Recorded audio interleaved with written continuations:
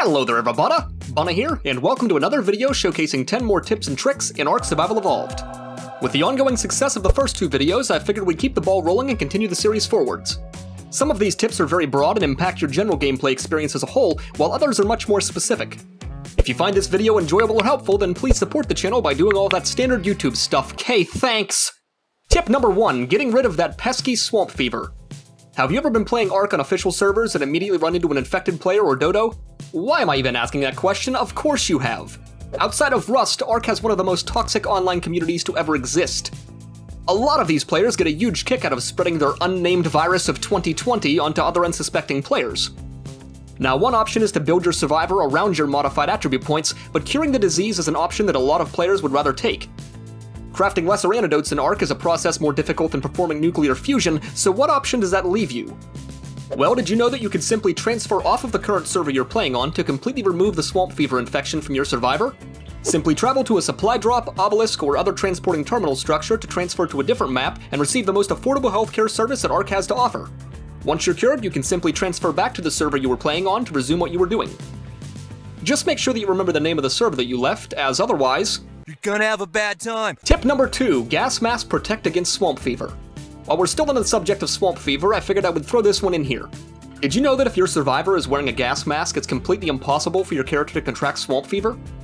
Not only does it provide protection against the airborne aspect of the virus, but also the physical aspect. Not even blood splatter or being directly bitten by a disease leech can spread the swamp fever to your survivor, meaning that you can safely enter someone's swamp fever ridden shack without the worry of contracting the disease that you never asked for. My god, if only college students knew about this. Tip number 3 Cryopods are a godsend. With the release of the Ark Extinction DLC came the introduction of cryopods, one of the single most useful and powerful items in the game. Cryopods are small tech like storage containers for your tames that allow you to cryogenically freeze them for safer storage or travel. The cryopod can then be thrown back down at a later time to release your tame back into the open world. Think of a cryopod like a Pokeball, but without the branding or risk of a lawsuit. Well, alongside this core functionality are a few added bonuses that you may not have known. When a creature is kept inside of a cryopod, it gains an additional 5% base passive experience, in addition to stacking XP multipliers. The amount of experience they gain upon release from the cryopod is solely based on how much game time has passed since cryopodding, multiplied by their idle XP rates, and multiplied again by a final 1.05 return. This means that cryopodding and storing dinos not only conserves a lot of space and food, but can also be quite efficient for leveling up tames in the background with virtually no extra effort. Did you also know that stored creatures will not count towards your tribe's total tame limit? This is because technically speaking, the cryopodded creature is no longer a part of your tribe and therefore isn't included within the cap limit.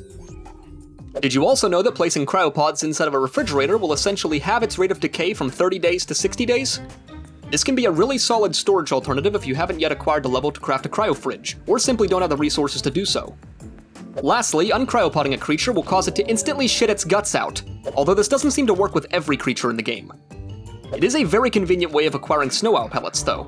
Thank you, Jesus. Tip number 4 Wooden cages are incredibly useful.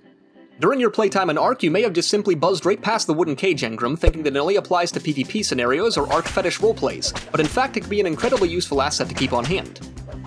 Wooden cages can be used alongside a grappling hook to quickly trap smaller creatures for easier taming, such as dung beetles or Hesperornis.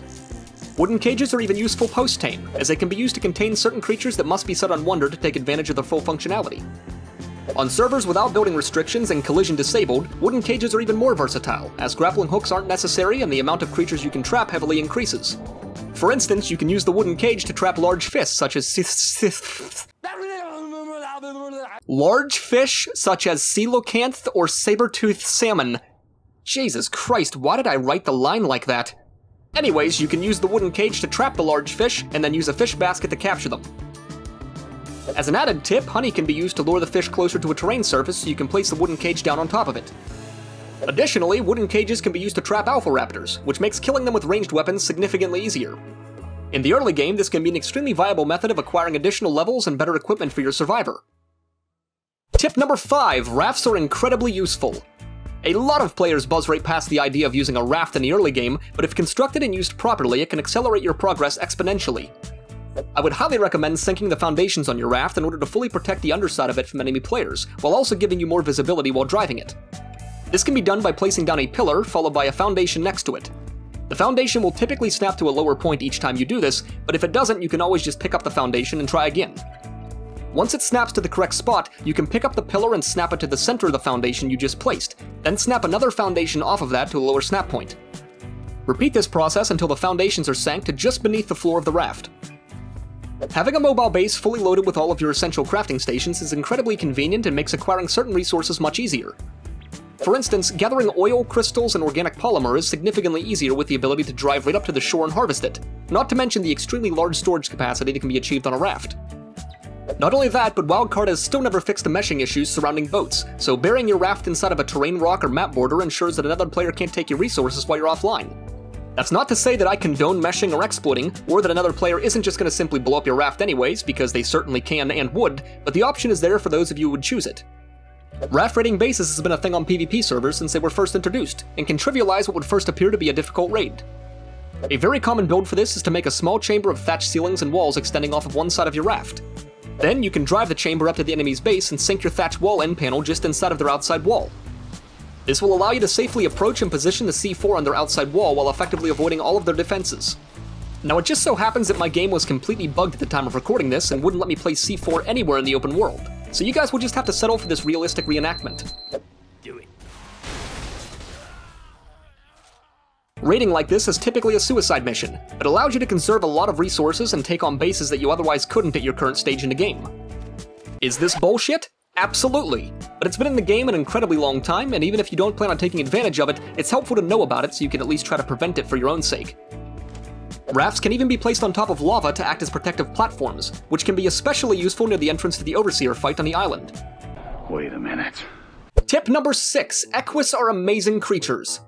Did you know that oh, man, my throat is getting dry from all of these incredibly well structured and useful tips. James, would you mind tagging in for this one?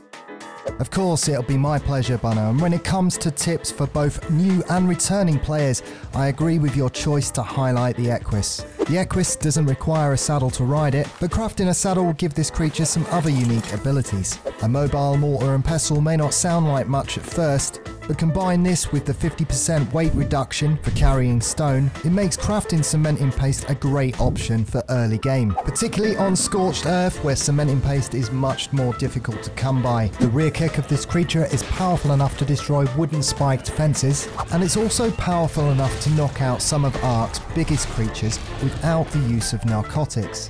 Combine this with the lasso that you can craft on its saddle, you can even drag some of these small to large tames away to a safer place. It's one of Ark's many useful creatures that's often overlooked, but cheers Bunneh, I hand it back to you. Oh, thank you so much, James. Sometimes my voice just can't handle all of this amazing information, but I'll try to keep the ball rolling.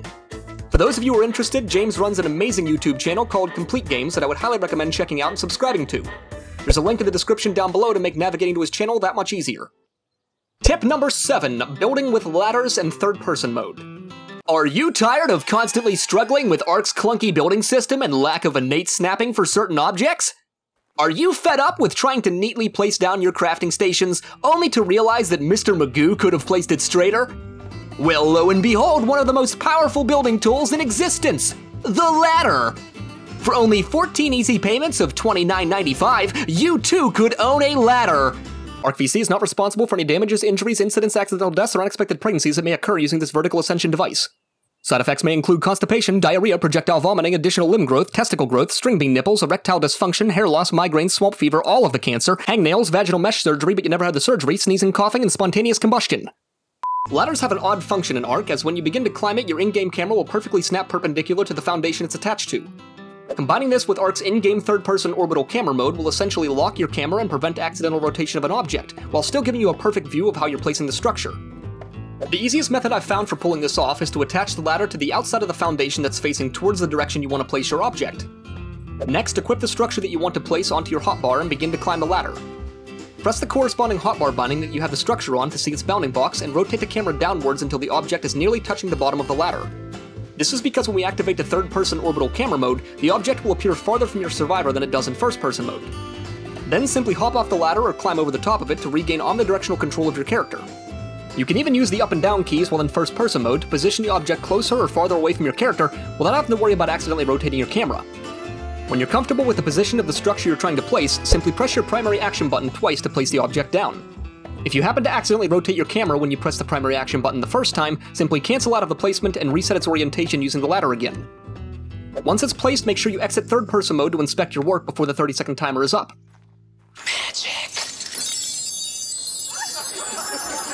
Tip number 8 Pick up tames. Did you know that you can use the Argentavis to pick up and hold smaller creatures to make taming easier? Technically speaking, this will work with any of Ark's tames that are capable of picking up other creatures, but Argentavis are typically the best choice because they deal no damage to the creature upon pickup, thus you don't have to worry about becoming spooked or losing taming effectiveness.